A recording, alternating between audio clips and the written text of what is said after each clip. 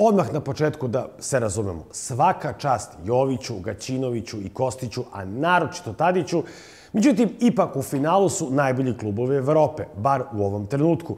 I to nije jedina istorijska činjenica. Naime, prvi put u istoriji u finalima dva najjača evropska takmičenja Ligi šampiona i Ligi Evrope sastaće se četiri kluba iz iste zemlje. U finalu Lige šampiona, koja se održava 1. juna u Madridu, igraju Liverpool i Tottenham, dok će u finalu Lige Evrope 29. maja u Baku snage odmeriti Arsenal i Chelsea.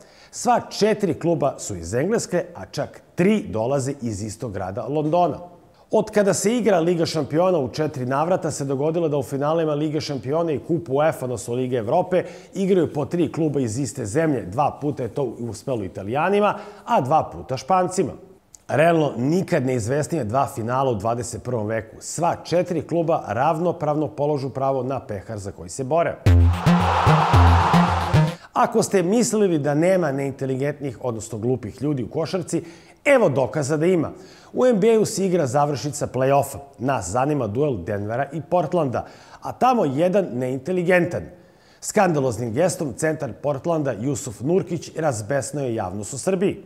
Činjenicu da je u ekipi Denvera nastupa Srbi Nikola Jokić, Nurkić je iskoristio kako bi isprovocirao najboljeg igrača tima iz Kolorada i navijači Srbije. Meč je pratio u majici na kojoj su bile ispisani imena vojnika koji su početkom 90. godina ratovali protiv Srba.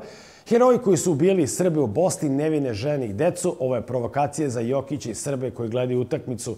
Ovo je mešanje sporta sa ratom i politikom, potpuno nepotrebno. Nadam se da će neko iz NBA lige reagovati. Ovo je strašno, napisao je navijač na Twitteru. A šta drugo da očekujete od onakvog izraza lica? Toliko o sportskom izdanju. Vidimo se u ponedeljak.